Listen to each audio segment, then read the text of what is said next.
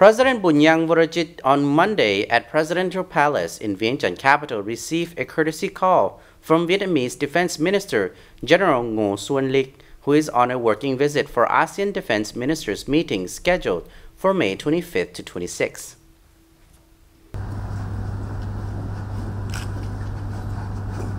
At the talk, President Bounnhang highly valued the visit to Laos by the Vietnamese minister as a significant contribution to enhancing the long-standing friendly relationship, special solidarity and comprehensive cooperation between the two parties, governments and people of Laos and Vietnam, especially the bilateral cooperation between the ministries of national defense of Laos and Vietnam.